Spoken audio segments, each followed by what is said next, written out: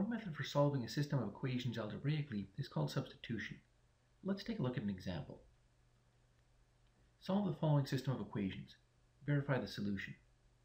The first equation is 3x plus 5y plus 24 is equal to 0. The second equation is 2x plus 2y is equal to negative 8. To use substitution, we need to isolate one of the variables. We can choose any variable, so it's usually a good idea to take a minute and choose one that is simple to solve for and will produce a simple equation. If we decide to solve for the first x, we'll eventually need to divide 5 by 3 and 24 by 3. Note that we're ignoring signs in this analysis. Dividing 5 by 3 will give us a fraction, so I'm going to look at the other variables. Similarly, if we solve for the first y, we'll end up dividing 3 by 5 and 24 by 5, both of which are fractions. This one isn't looking easy either. To solve for the second x, we'll need to divide 2 by 2 and 8 by 2. Both of these will give integers. This x looks like a good choice. To solve for the second y, we'll need to divide 2 by 2 and 8 by 2. This will also result in integers, so this y makes for a good choice too. Let's solve for this y. Please note that this is a different solution strategy than the one used in lesson 8.2. Subtract 2x from both sides of the equation to isolate the term containing y. Divide both sides by 2 to isolate y. Now we know y equals negative 4 minus x.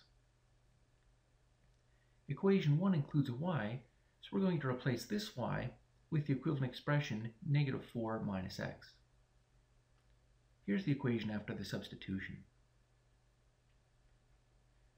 Notice that the new equation has only a single variable, x. This means we can solve for x. Multiply the 5 through the brackets. 5 times negative 4 is negative 20. 5 times negative x is negative 5x. This simplifies to negative 2x plus 4 is equal to 0. Subtract 4 from both sides to isolate the term containing x, and divide both sides by negative 2 to isolate x. Now we know that x is equal to 2. To determine the value of y, we can substitute the x value into any equation that includes both x and y. There are lots to choose from, so let's try to pick a simple one. This equation looks very simple, so let's use it. Substitute 2 for x. So the y value is negative 6. The solution to the system is x equals 2 and y equals negative 6. Alternatively, we can represent this solution as the ordered pair 2, negative 6. We can substitute these values into the original equations to verify our solution. Let's start with the left side of equation 1. Substitute 2 for x and negative 6 for y.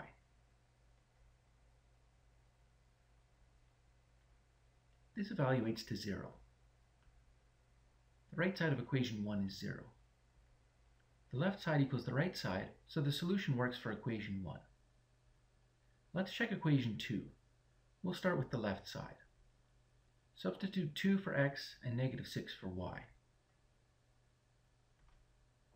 This evaluates to negative 8. The right side of equation 2 is negative 8. The left side equals the right side, so our solution works with equation 2. The values x equals 2 and y equals negative 6 satisfy both equations of the system, so they are a solution to the system.